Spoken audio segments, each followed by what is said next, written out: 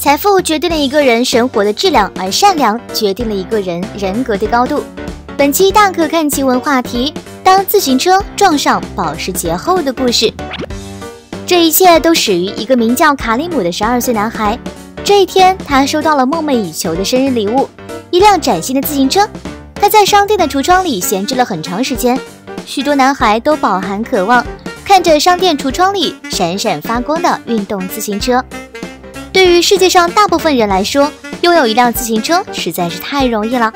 但对于卡拉姆来说，拥有一辆自己的自行车是一件极度奢侈的事情。卡拉姆的家庭非常贫穷，父亲也在疾病中死去，只剩下母亲和自己相依为命。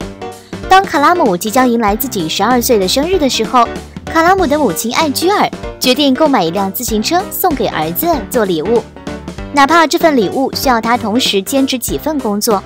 在卡拉姆生日到来的那一天，母亲拿出积攒了半年多的积蓄，为儿子买了一辆心爱的自行车。卡拉姆高兴坏了。虽然这辆自行车不是那么完美，但他依然非常高兴，并和小伙伴们相约第二天去骑车比赛。然而第二天，在比赛过程中，由于卡拉姆车技不够娴熟，撞上了一辆昂贵的保时捷汽车，汽车尾灯部分已经被完全撞坏了，自行车也变形了。卡拉姆惊恐地瘫坐在地上，害怕地大哭了起来。这时候，车上下来一位西装革履、风度翩翩的男子。当男子询问卡拉姆怎么撞上的，卡拉姆表示是自己没有及时刹车，对此感到非常抱歉。当男子打电话联系修理公司，卡里姆听到了高昂的修理费用，明白自己不仅要失去心爱的自行车，还需要支付一笔高昂的修车费。想到这里，小男孩眼泪又开始掉下来了。车主让小男孩写下地址和联系方式，表示明天会找时间过去，找他的母亲处理这件事情的。当母亲听到卡拉姆的遭遇后，开始掩面叹息，不知道怎么去面对这件事情。第三天，一位男子推开了卡里姆的家门，面容憔悴的母亲不敢想象接下来要发生的事情。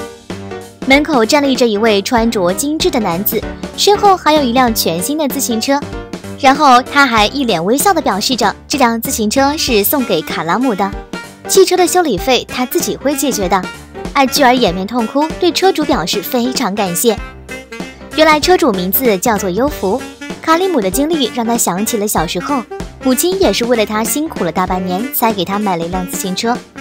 优福希望把母亲教育他的善良和爱传递下去的，因为一个人的财富终究是有限的，只有爱和善良。是世界上永久流传的东西。好了，本期视频到此结束，感谢大家观看。